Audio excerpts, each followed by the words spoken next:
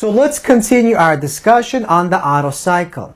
Now recall that the Otto cycle is essentially a reversible cycle that consists of four reversible processes. So these processes are shown in the following diagram. We have process A, process B, process C, and process D.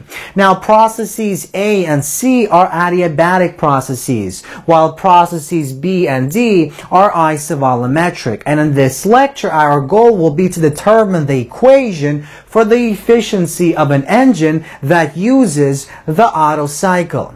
Now before we begin, let's recall the general equation for the efficiency of any heat engine. So the equation is given by the following formula. The efficiency E of any heat engine is equal to 1 minus QL divided by QH. So that means if we want to use this equation to determine the efficiency of the Otto cycle engine, we have to first determine what QL is and what QH is in the Otto cycle. So what exactly is the QH? Where the QH is simply the amount of heat that flows into our system. And that heat flows into our system during process B. So as we go from position 2 to position 3, heat flows into our system. And the amount of heat that flows into our system is given by QH. Now, what about the QL? Where the QL is the quantity of heat that flows out of our system, and this takes place during process D as we go from position 4 to position 1. So as we go from position 4 to position 1, QL flows out of our system. So let's actually try to determine an equation for QL and QH, and that's exactly what we do in step 1. So pathway pathway B and pathway D are isovolumetric. That means the change in volume is zero. And because the change in volume is zero, the work done during processes B and D is also zero. So that implies, according to the first law of thermodynamics, the change in internal energy must be equal to Q because the W is zero in processes B and processes D. So let's begin with process process B. So in process B, QH flows into our system and QH, heat, is given by the following equation. N, the number of moles multiplied by the molar specific heat under constant volume multiplied by the difference in temperature between position 3 and position 2. So T3 minus T2 where T3 is simply our temperature at position 3 and T2 is our temperature at position 2. Now let's move on to process D. In process D we have heat that flows out of our system. So that means our Q must be negative negative.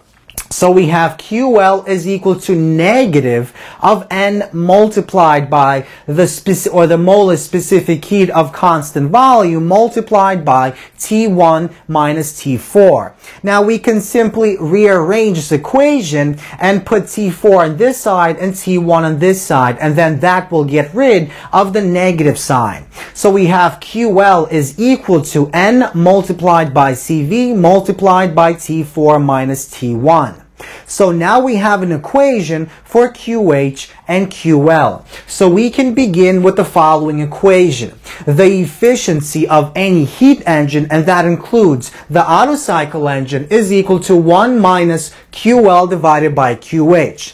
Now QL is simply this quantity, N multiplied by CV multiplied by T4 minus T1. While QH is simply this quantity, N multiplied by CV multiplied by T3 minus T2. So notice that the ends are the same. We have a closed system, so the number of moles stays constant, and CV is also the same. So these two terms will cancel out and we're left with the following equation. The efficiency is equal to 1 minus T4 minus T1 divided by T3 minus T2. And let's call this equation one. Now let's move on to step two. In step two, we essentially want to examine processes B and or processes A and processes C, our adiabatic processes.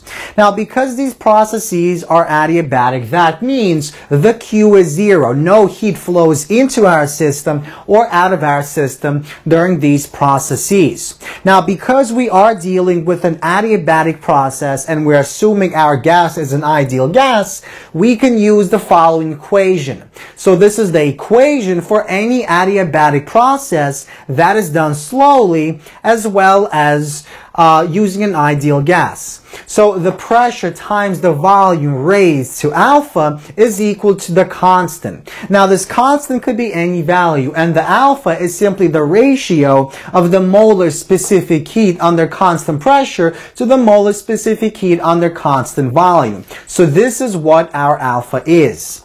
So let's begin with process A. Process A, we begin at position 1 and end at position 2.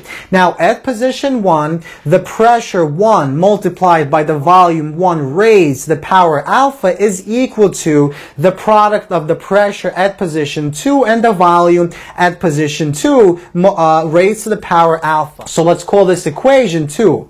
Now let's move on to process C. In process C, we follow the same exact procedure. The pressure at position 3 multiplied by the volume at position 3 raised to alpha is equal to the pressure at position 4 multiplied by the volume at position 4 raised to alpha. Now let's move on to step 3. In step 3 we want to use the ideal gas law.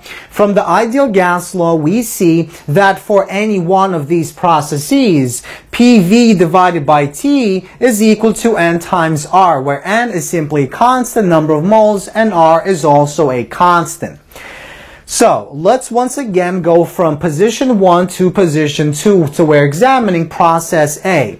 So P1 V1 divided by T1 at position 1 is equal to P2 multiplied by V2 divided by T2 at position 2. And likewise, we go from 3 to 4. So we're examining process C.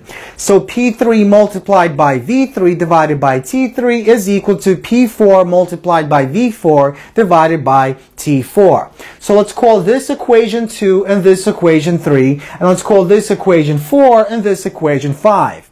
Now in step 4, we take equation 2 and divide it by equation 4. And likewise, we take equation 3 and divide it by equation 5. The purpose of that is to get rid of the pressures.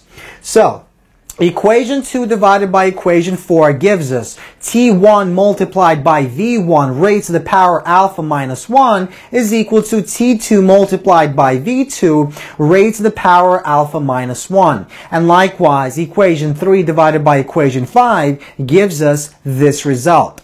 So let's take this equation and rearrange it and solve for T1. And then take this equation, rearrange it and solve for T4. So we essentially want to represent T4 in terms of T3 and V3 and V4. And we want to represent T1 in terms of T2, in terms of V2 and V1. So if we take this equation, rearrange it, and solve for T1 and plug that into this quantity, and then we take this, rearrange it, and solve for T4, and we plug it into this quantity, we get the following result. So our efficiency of our Otto cycle engine is equal to 1 minus. So our rearranged goes here and our rearranged goes here. That's exactly what we get. Now, let's go back to this diagram for just a moment. So our isovolumetric process means our volume is constant. So volume at position 2 and volume at position 3 are equal. And likewise, the volume at position 1 and 4 are also equal. So V1 is equal to V4 and V2 is equal to V3. So notice that V3 is equal to V2 and V4 is equal to V1. So that means we can simply replace these values with V2 and V1. So notice this is the same and this is the same, so we can take that out of our equation and we get the following result. Now notice we have T3 minus T2 on top and bottom. So these will cancel out. And we're left with the following result.